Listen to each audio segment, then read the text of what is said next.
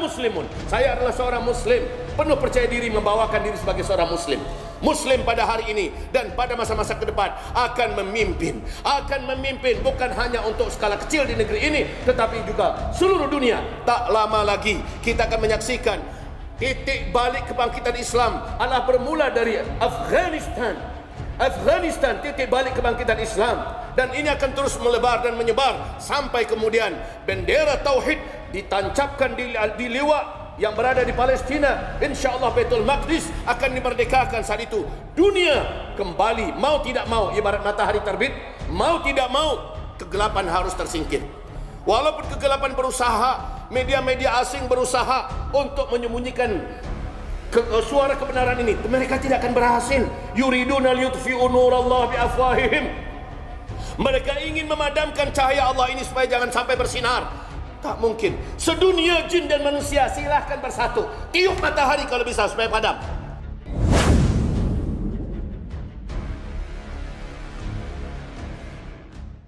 Pujian dan syukur kita hanyalah untuk Allah Rabbul Alamin. Salawat dan salam kita untuk Rasulullah sallallahu alaihi wasallam. Ibarat pada hari Minggu yang lalu hari Minggu yang lalu masih bulan ini pada tanggal 4 atau tanggal 3 Minggu malam jam 7.30 sampai jam 11.30 telah terjadi penyerbuan secara profesional dan sangat hebat dilakukan oleh pemerintahan Emirat Islamiah Afghanistan yaitu Taliban kepada markas terbesar ISIS di Khurasan yakni bertempat di Kabul bagian utara. Ibarat Allah yang kami muliakan dalam 3 jam seluruh gerombolan ISIS yang ada hancur porak-poranda dan semua manusianya mati terbunuh. Allahu Akbar ketika sebelumnya dengan sombong mereka mengatakan kami tidak akan pernah biarkan pemerintahan Emirat Islamiyah Taliban wujud dan Taliban akan menjadi musuh kami. Maka mereka pun dihabisi. Qul ja'al haqqu wa zahaqal batil. ISIS jelas adalah musuh Islam.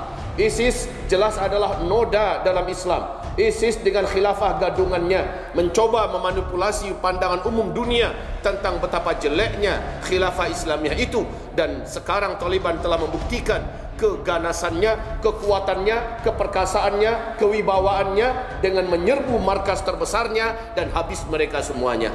Kami teringat dengan Abdullah bin Sabah ketika dia begitu pongah dan sombong mengatakan bahwa kebenaran adalah pada kami 20 ribu pasukannya habis oleh pasukan khilafah Islamiah yang sejati. Ibarat Allah yang kami muliakan. Bagaimanapun qul ja'al haqqu wa zahaqal batil. Katakan apabila kebenaran telah datang, telah datang. Belum lagi untuk dikatakan diperjuangkan, tapi datang saja kebenaran. Fazahqal batil, maka kebatilan pasti akan sirna. Ketika matahari terbit, segelap apapun gelapnya alam ini, pasti matahari akan menembus cahayanya, akan menyingkirkan kegelapan. Qul ja'al haqqu wa zahaqal batil, innal batila kana zahuqa. Sesungguhnya kebatilan itu selalu kalah. Ingat itu baik-baik. Yang penting datangkan saja kebenaran, bawa saja kebenaran, maka kebatilan akan tersingkir. Air dalam satu gelas kotor semuanya tapi disiram terus dengan air bening. Air mata air yang bersih. Maka yang kotor itu akan terangkat dan pasti terbuang. Qul ja'al haqqu wa zahaqal batil. Apabila terjadi peperangan antara hak dan batil di satu tempat di satu komunitas apakah pesantren apakah masyarakat kebatilan itu apabila lama kelamaan dibawa terus kebenaran ke sana kebatilan akan sirna. Ketika Islam masuk ke Yathrib Madinah sekarang ini maka penduduk yang zalim penduduk yang dalam zulumat akhirnya terang benderang pintu hidayah terbuka dan mereka seluruhnya memeluk Islam dan Madinah Al-Munawwarah sampai hari ini menjadi negeri dan tanah yang mubarakah penduduknya juga demikian Qul ja'al haqq wa zahaqal batil. Sekarang dunia dalam posisi puncak, posisi puncak kezaliman, kegelapan di mana-mana, kejahilan dan kejahilian di mana-mana. Tetapi mereka sudah ada pada ambang batas terakhirnya. Demi Allah kabar gembira buat kita. Amerika sudah lumpuh, Cina sudah lemah. Kemudian apa kekuatan yang dinanti ke depan? Islam tidak ada yang lain. Hanya Islam kekuatan yang paling dinanti pada hari ini.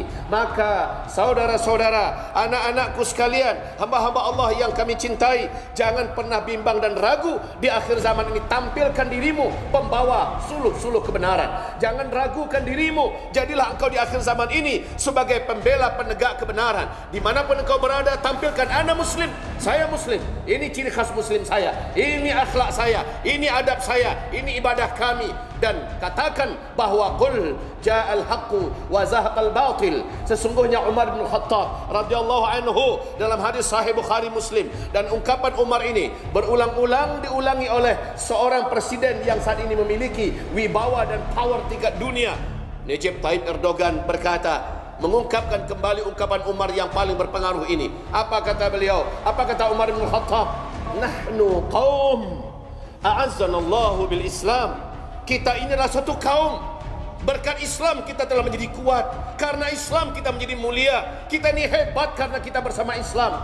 Fama tabtaghaina al-izzata bighairi al-Islam ketika kita mencoba menjadi hebat, kita mencoba menjadi kuat, tapi bukan dengan Islam, di luar daripada Islam, Allah. Allah pasti akan kembali menghinakan kita. Allah pasti kembali akan menjatuhkan kita, membuat kita tidak bernilai, tidak berharga. Tidak di pandangan manusia, apalagi apalagi di pandangan Rabbul Alamin. Tidak di dunia, apalagi kelak di akhirat. Mau mulia di dunia dengan Islam, mau mulia di akhirat dalam surga dengan Islam, maka jadilah kita sosok sosok muslim yang kafah di akhir zaman. Jangan bimbang, jangan ragu membawa identitas keislaman kita. Jangan bimbang, jangan ragu membawa akhlak Islam kita, ibadah Islam kita, akidah Islam kita di akhir zaman ini wajib setiap kita tampil mengatakan ha ana ana muslimun Inilah saya, saya seorang muslim. Di hadapan orang kafir, di negeri kafir Di tempat yang penuh dengan kezaliman, kejahilan Nampakkan identitas kita yang muslim. Jangan berwarna dengan warna mereka. Itu munafik. Jangan larut dengan gaya mereka. Ini hipokrit. Tetapi jadilah kita ha anada ana muslimun. Saya adalah seorang muslim.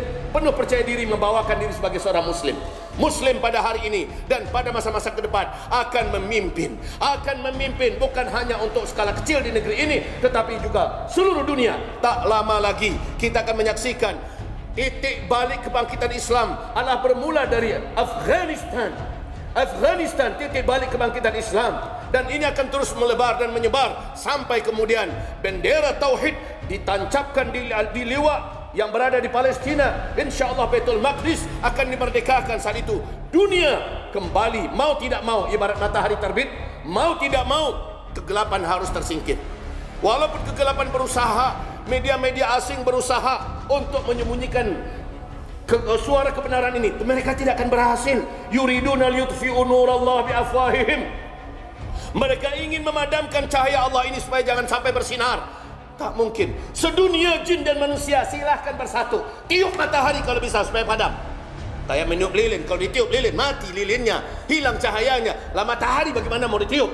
hembuskan, keluarkan seluruh nafas kalian untuk memadamkan cahaya matahari Allah tidak akan mampu kalian. Islam sudah mendekati fajar. Fajar ini sudah terjadi fajar katibnya. Fajar sodik sebentar lagi. Setelah itu kita akan menyaksikan matahari terbit. Islam kembali memimpin dunia. Percaya dirilah kita. Jadikanlah diri kita seorang muslim yang akan lenggang kangkung menguasai dunia dengan penuh wibawa, dengan penuh khas. Di mana ahlul Quran? Ahli Al-Quran. Mereka lah ahlul izzah ahlul fajr ahlul nusrah mereka lah yang akan membawa kemuliaan. Mereka lah yang akan membawa kemenangan. Dan mereka lah yang akan membawa kejayaan Islam kembali seluruh dunia. Ini janji Allah bukan pepesan kosong Surat An-Nur, surat yang ke-24 ayat 55, Allah memastikan Islam akan kembali memimpin dunia. Pada saat itu seluruh dunia orang-orang berimannya dalam kondisi ketakutan di mana-mana. Karena takut itu diciptakan diteror oleh para teroris sejati Amerika, Israel dan konco-konconya mereka adalah teroris sejati. Mereka mencoba menakut-nakuti orang-orang beriman. Tetapi Allah SWT menjanjikan ketakutan itu akan tersingkap akan tersingkir akan lenyap karena cahaya kebenaran. Ketika datang menyinari kegelapan ketakutan itu akan hilang dengan sendirinya. InsyaAllah ta'ala Tentu saja dengan penuh optimis kita mengatakan. Dan sekali lagi kita ulangi Qul ja'al haqqu wa zahaqal batil. Katakan apabila kebenaran telah datang Kebatilan pasti akan hilang. Saudara-saudaraku Anak-anakku yang tercinta Dimanapun diri kita berada Jadilah kita cahaya. Jadilah kita cahaya. Jangan kita padamkan cahaya pada diri kita sendiri. Cahaya pada diri kita itu adalah iman dan Islam yang dengannya Allah telah mengangkat dan memuliakan generasi-generasi hebat ribuan tahun yang lalu ya. Mereka telah menang mereka telah jaya mereka telah mulia mereka telah hebat karena mereka membawa iman dan Islam yang kafah. Maka pada hari ini kita bertekad setiap pribadi kita ingin kembali menjadi sumber-sumber cahaya yang tidak bisa dipadamkan. Mungkin badan bisa dilumpuhkan mata bisa dicongkel tubuh bisa dipatah-patahkan dimutilasi tapi tidak pernah bisa mereka cabut adalah iman di dalam dada kita. Bila kita sudah beriman, bila kita sudah punya keyakinan, maka siapa pun tidak akan mampu untuk melepaskan iman dan keyakinan itu. Bilal berkata kepada bos dan majikannya yang kafir, kamu boleh lepaskan kuku-kukuku. Kamu boleh kelupasi kulit kepalaku. Kamu boleh tanggalkan satu persatu anggota tubuhku. Tapi jangan pernah mimpi kamu bisa melepaskan dan menanggalkan iman di dalam dadaku. Ibarat Allah yang kami muliakan, tampillah kita sebagai muslim kafah, mukmin yang haqqan di akhir zaman ini.